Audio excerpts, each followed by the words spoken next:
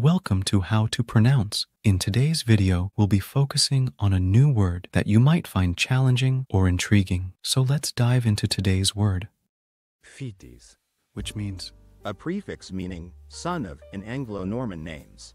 let's say it all together. Fitz, Fitz, Fitz, One more time. Fitz, Fitz, Fitz. Thank you for joining us on this adventure in pronunciation. Remember, language is a journey, not a destination. Keep exploring, experimenting, and expanding your linguistic horizons. We'll see you next time.